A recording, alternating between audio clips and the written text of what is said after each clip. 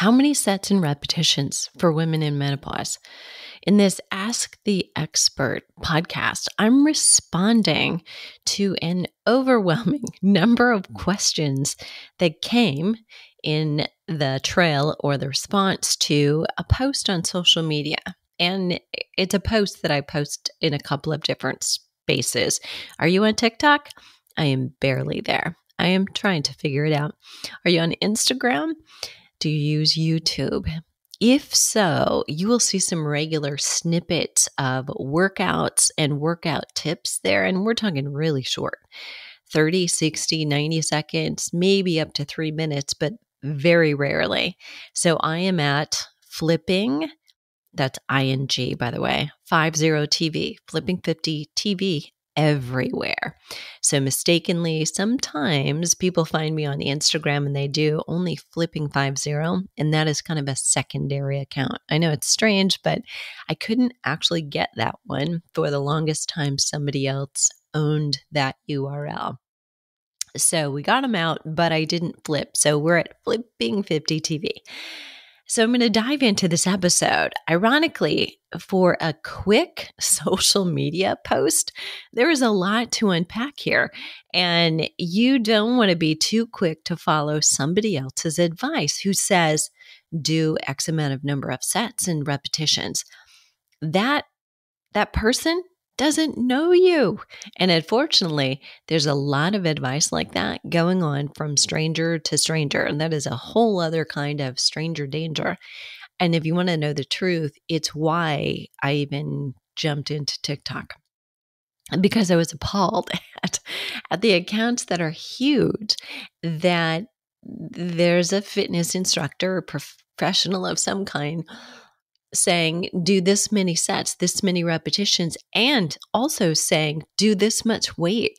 No one knows you, and nobody who doesn't know your history doesn't know many of the things we're going to talk about. So I won't go go too far into them. But if someone doesn't know you, and I would suggest that you know, if I were posting a video somewhere online and one of the clients who I might work with once or twice a week on a regular basis asks, How much weight should I use? I would be hesitant to tell them. Why is that? Because depending on where you put that exercise in a sequence, it changes the weight you can lift. For instance, if I go to the gym and I do Debra spending too much time with Debra is not a good thing. So sometimes I will go to the gym as opposed to working out here, even though I have everything I need here. I had to get out and parallel play and see real people. And I might go to the gym some days and I will do lat pull down, and that'll be my first exercise. But if I wait and lat pull down is one of the last things that I do, and I do that purposefully, sequence should change regularly because what you do fresh, you're going to do better. I'm going to lift more weight just kind of within the what do I usually do on lat pull down? I have a range of, you know, usually from here to here, this is reasonable, but it'll be on the lower end if I'm using that exercise last. It'll be on the higher end if I'm using that as one of my first exercises, meaning post warm up and dynamic movement. So I'm ready. And you should be thinking that too. So, generic questions will get you either really poor, potentially injurious answers, or inadequate ones, where then you might feel, oh, that's not a fit, or I can't do that, or that is too light.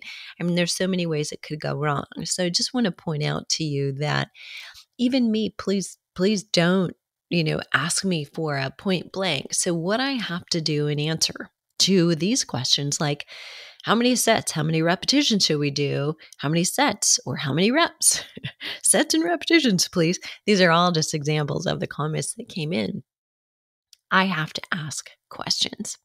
I'm Debra Atkinson. You're listening to Flipping 50, where I address your top struggles and concerns, but more than anything, hope to inspire you that you can age in a very different way than we've ever seen it, had it modeled for us.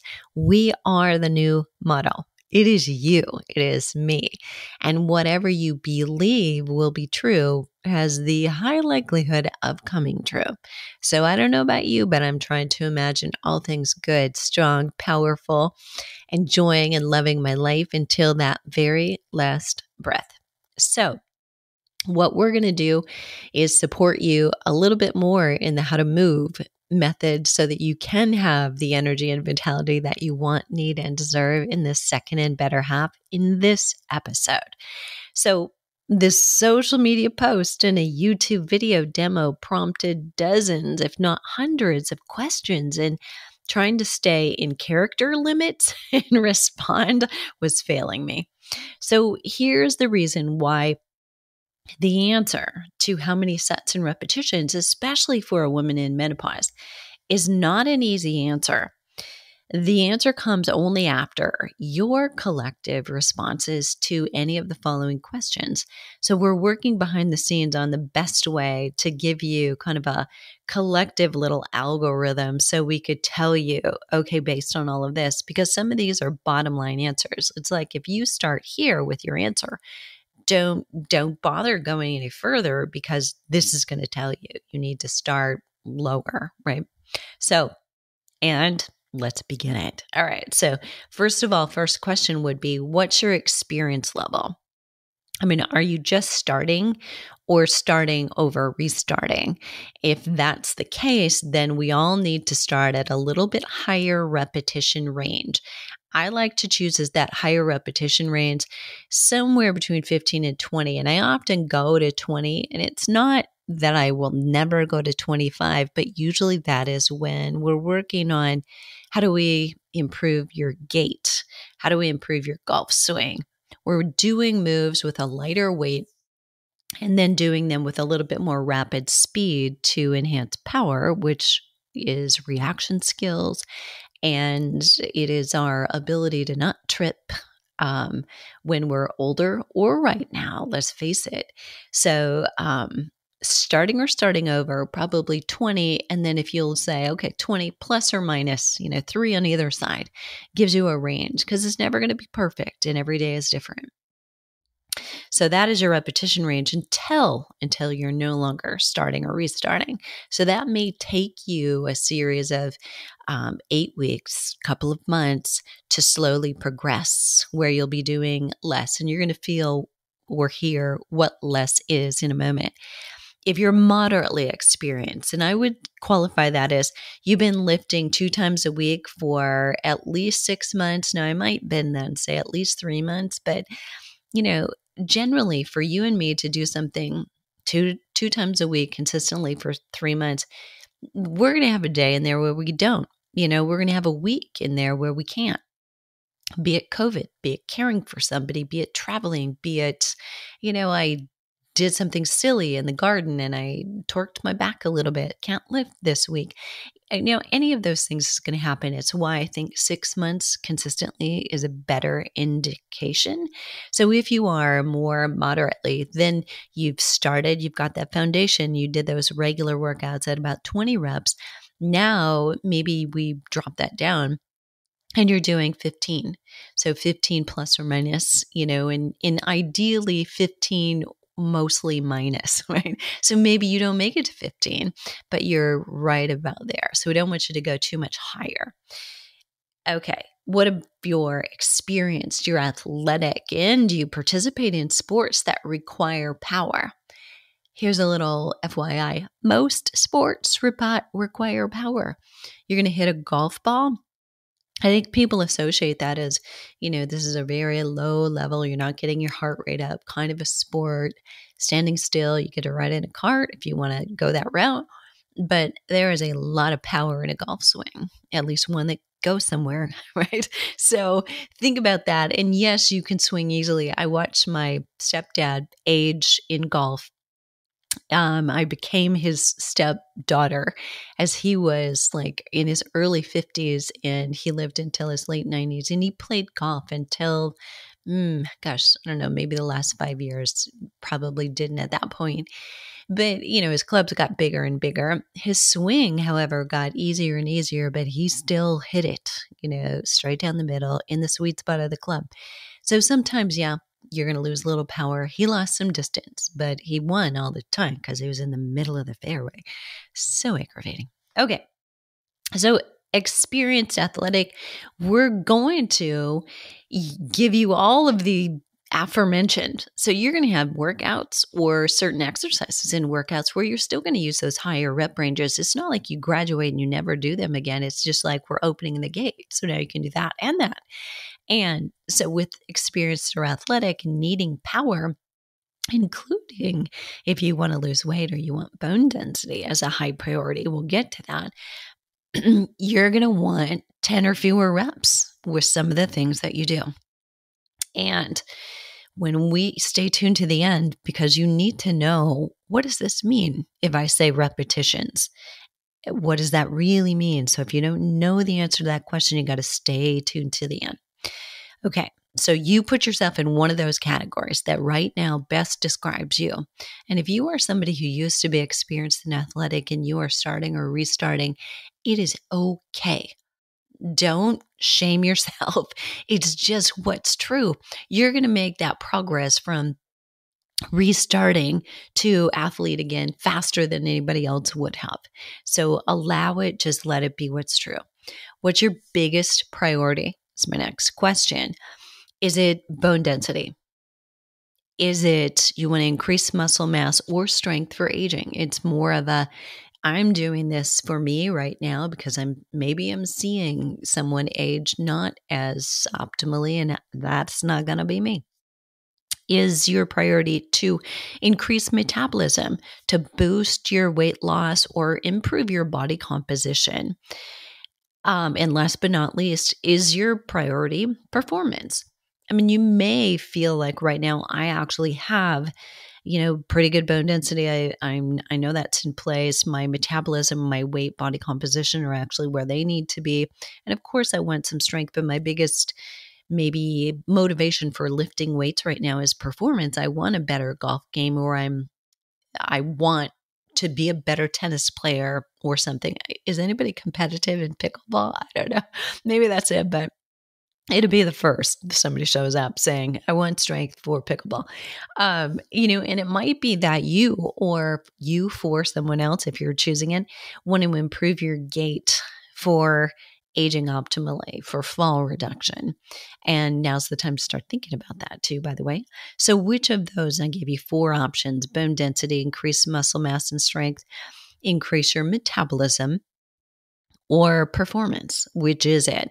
In You Still Got It Girl, the book, I actually lumped two of those together. I lumped bone density and metabolism because weight loss is obviously one of the biggest number one goals. But those two exercise prescriptions are very similar.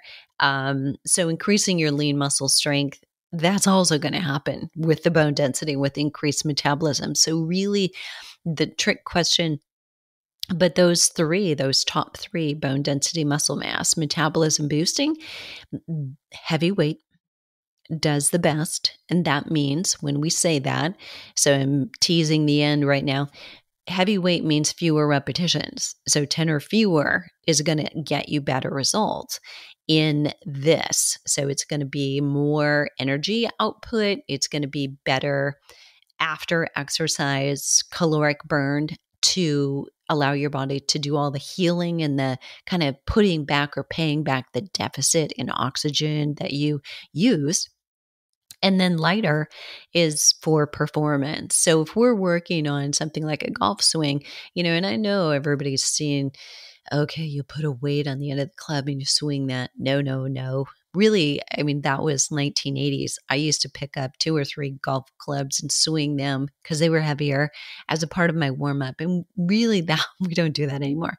I did not do that when I went for a golf lesson yesterday. I was afraid I would embarrass myself. So, um, we go lighter, like 40% of what we call a one rep max. That may mean nothing to you.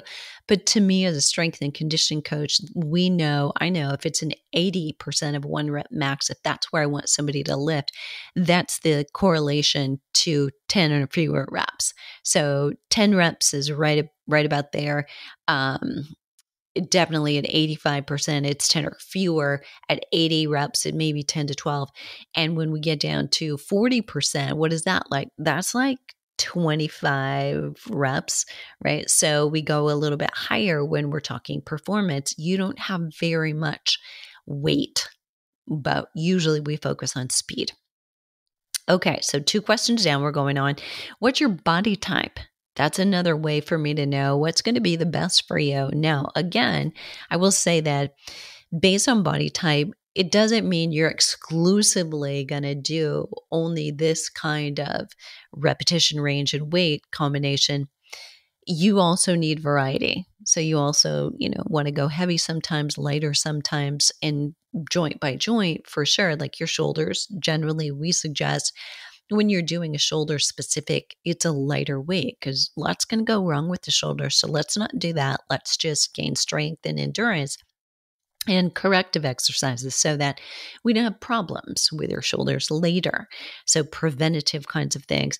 But also, I mean, all of us, you know, depending on body type, we still, all of us, need to focus on bone density. We want to focus on, you know, optimal body composition and reaction skills. So we all need certain ranges, but higher percentage of it based on your body type. So if you're more muscular, more athletic, just naturally kind of just have that athletic body, you you pick things up really well, you move in a coordinated way. Somebody says, "Show me this."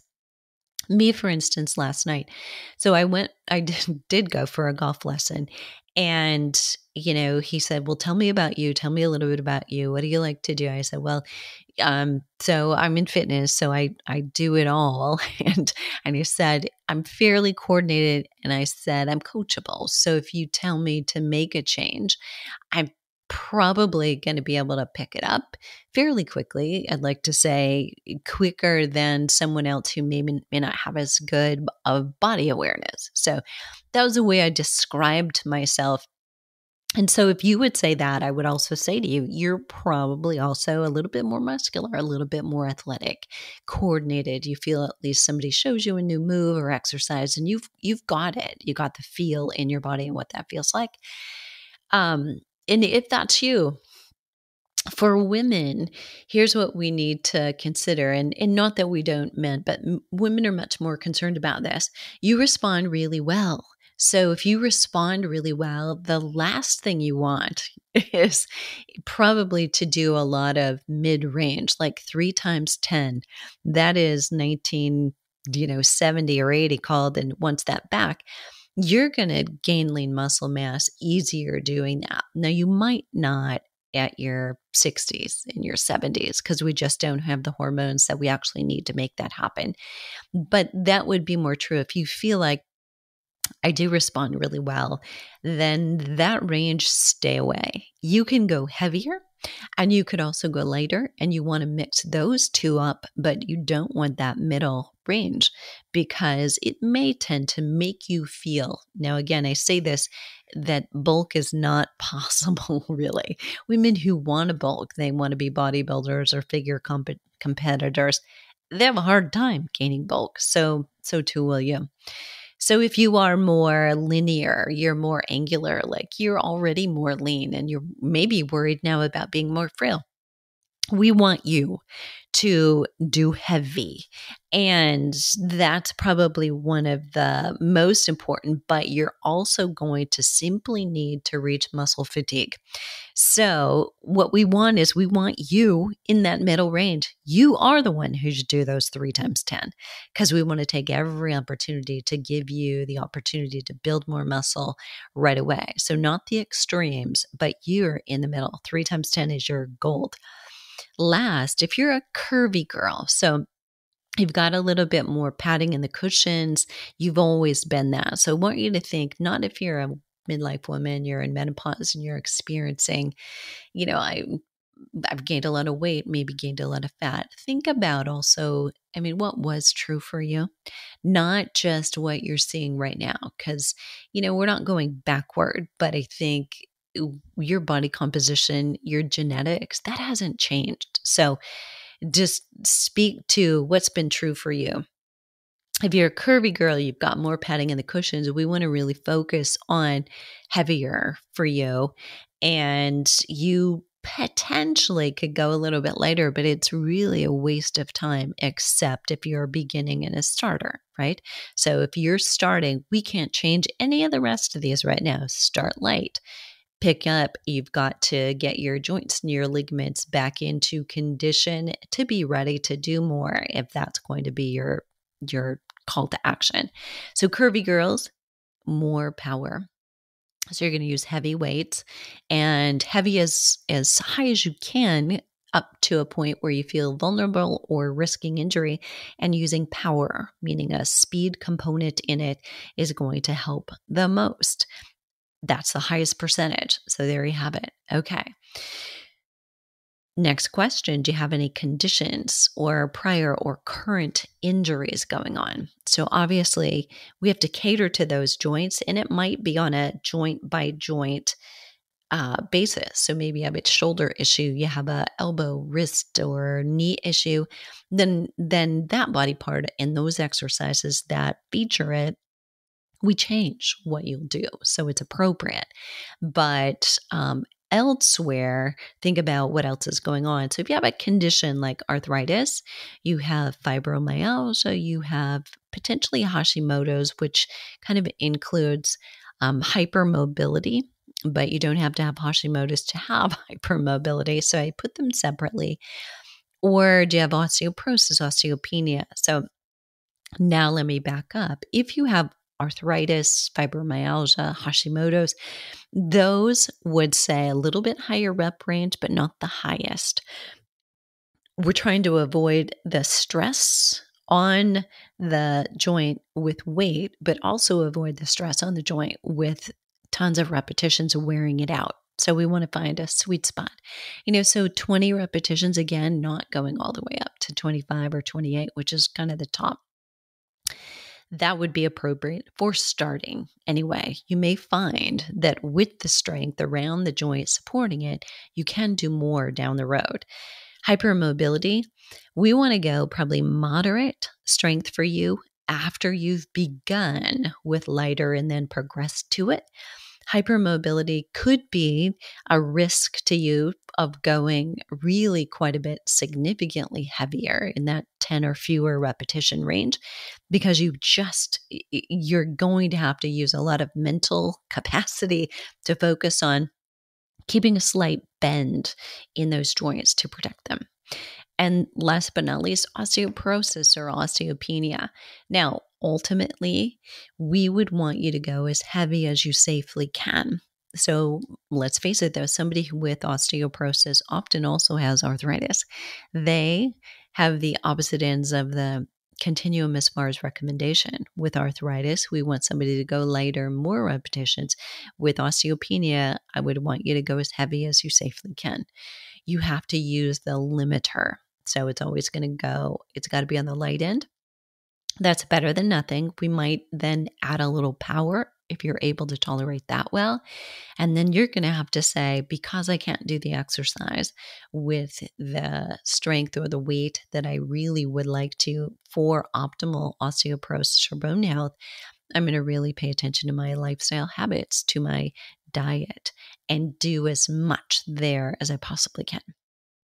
So, moving on what does the number of repetitions mean? And I'm also going to say, how does the number of sets impact you? Because if I can give you all those answers, right now you've just got them and kind of circled in each division. I need lighter, I need heavier, I need lighter, lighter, lighter. You've got some answers. And remember, if anywhere you got, I need lighter because of where I'm at with this one, then lighter is your answer. You can't go heavier if you can't, if you're at lighter, and that is your indication. That's where you're starting, though. And there may or may not be a, the ability to progress to heavier. But you need to know this answer. What does the number of repetitions mean? So it doesn't mean you just pick up what you have in your living room or that spare bedroom sitting there. If I say your number ideally is you're fatiguing at 15 repetitions, you need to have a weight that will allow that to happen. That at 13 and 14, and you're like, I don't know if I can get this last one. Like I'm starting to fall apart, or I'm starting to cheat. I'm starting to use other other muscles. So you need to know that you have the appropriate weight for the range that you're looking for. So if you're following, say, a video and you know they're doing 15 repetitions well you're going to go the speed that they go you've got to have the match for the weight that will fatigue you when that one's done and you're moving on to the next one. You don't just want to say oh put them down she's moving on to the next one. If you could have done 5 10 10 more that's not going to work because you've got to have that overload of reaching temporary muscle fatigue. So to um, give you a different scenario. So maybe what you're doing is watching a brief demonstration or a, here's the start and here's the stop of this exercise, here's the form, and you're just given, okay, do this 15 times to fatigue. You can now go at your own speed. And trust me, slower is actually much, much harder. That's time under tension but my preference is using power, that's speed during the lifting phase, stopping at the top, pausing, and then slowly letting that come down. Now we have the best of both worlds. We get power and we also get more time under tension. So that's an ideal way to uh, apply the number of repetitions to fatigue, especially if you've got something going on that doesn't allow you to go heavier and heavier. Or if you're limited by the weight you have at home and the space or the desire, willingness to buy more weights, that's another way around it. And sometimes that's what you have to do at the gym because you can't get what you want and you shouldn't probably be just sitting and waiting for five or 10 minutes. Who's got that kind of time? Okay. Now, let's talk about the number of sets. How many sets should you do? So, here in general, guidelines for almost all of us one single set of a single exercise is not very useful. Just probably 30 years ago, it was only beneficial if it was excruciatingly painful, heavy, and you truly reached fatigue and, you know, like five or fewer repetitions. We don't want to do that, number one, because the warm up preceding that would need to be very, very good in order not to injure you. And there's also this piece that for women over 40, we're now uh, well aware that volume really matters. So, the more volume we have, the better the exercise result. But, or, and, and this. So, I hope you didn't just shut off because this is really important. We don't want to get the volume from more days per week we don't even want to get the volume from do a dozen more exercises. We want to get the volume from the number of sets of quality exercises that work major muscle groups. And that means if you are short on time and you have 15 minutes to do a strength training workout, you can still get volume. And you may think, what? She's lost it. Finally, we knew it was coming. No. So, what's happening is you would say, let's choose major muscle groups. So, if you've been here for a minute, you know, I would choose a squat or another lower body activity like a lunge that is getting lots of joints, meaning lots of muscles involved. And then I choose an upper body for chest and an upper body exercise for the back. So I'm going to get major muscle groups of the chest, the back, and the lower body. That's going to be in lower body, that's your glutes, your quads, and your hamstrings are involved in a squat. In your chest, it's your pectoralis major muscles, but it's also your triceps are involved. in a row or pulling exercise, you're going to get your trapezius, but you're also going to get some smaller muscles like the biceps.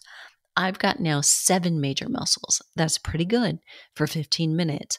So the number of sets giving volume to would be I would do those three exercises, three or four times. If my time permitted, I would get that fourth, but definitely I can do three sets in about 10 minutes. Now, I'm not counting the warm up, the, the cool down, and those are not included. That would be an addition to.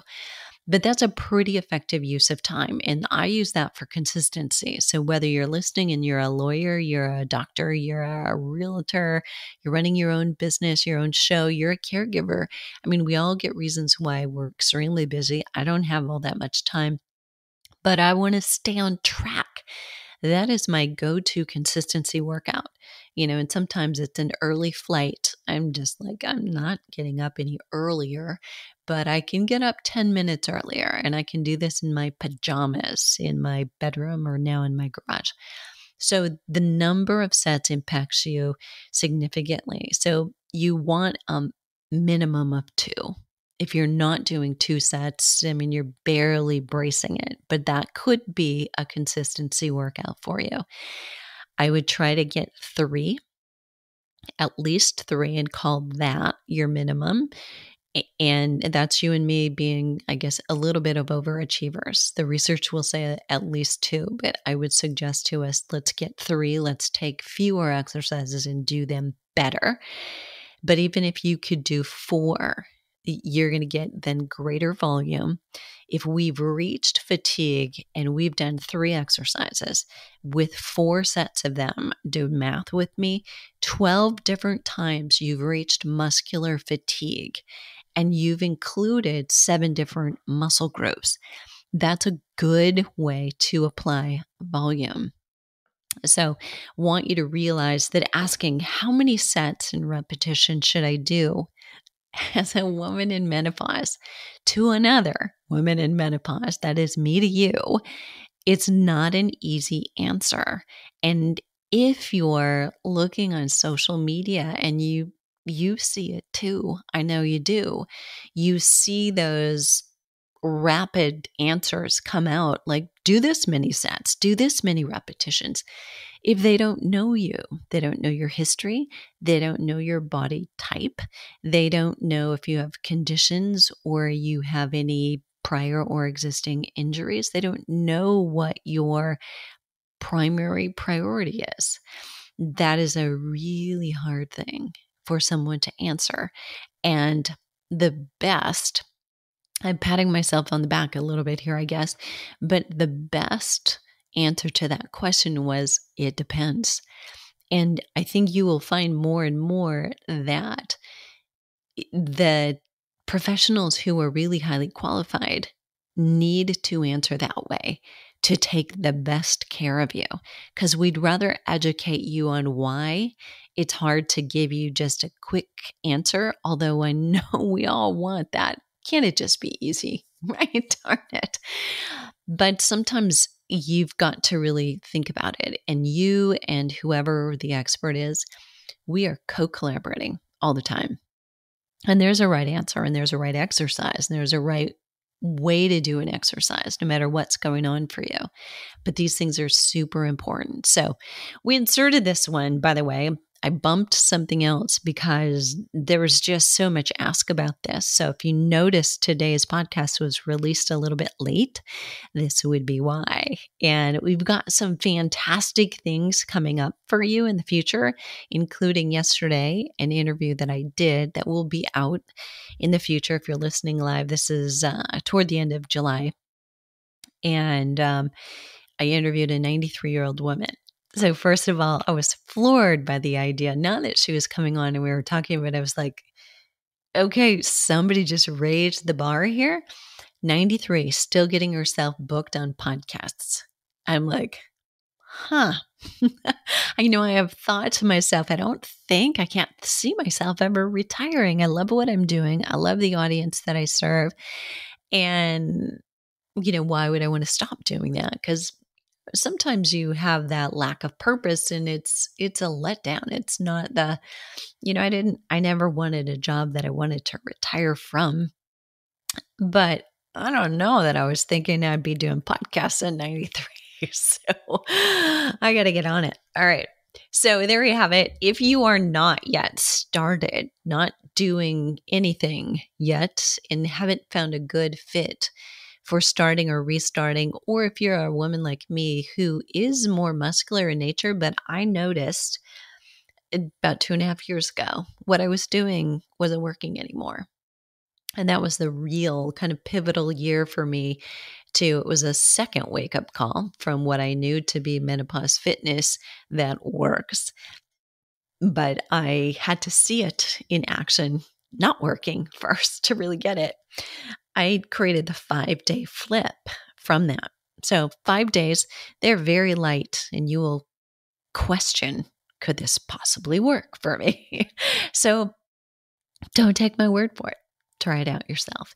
So if you're not doing something already that is working, getting you good results, I will put the link to the five day flip for those of you who are um, struggling. I talked about squats and lunges today and it being them being major muscle group stimulators, and we all want strength to get ourselves out of a chair, you know, at some point will be the why, but also just so that we can do the things we love and do it with some independence, deciding. Now, it's not all bad to depend on someone, but by choice as opposed to by having to. So, I'm going to put a, a, special freebie that uh, we created because lunges are the nemesis for a lot of women. And what I found is all all the comments about lunges in a post came back to I've never heard that before. This is a game changer. Nobody's ever told me that before. And many of these women who are giving those comments have been doing group fitness for years. But, you know, an instructor can't see every individual's feet, toes, head, know where they're at, and give individual feedback if there's 30 or more in a room. So take these, look at them. There may be a better solution simply because you get a different cue that you've never heard before. Or if it's not possible, I give a lot of variations so that you can take a substitute, still work those major muscle groups, and yet have the less stress or elimination of stress on the joints. So, what are you waiting for? Let's start flipping 50 together. And today's show notes are at flipping50.com forward slash sets and repetitions.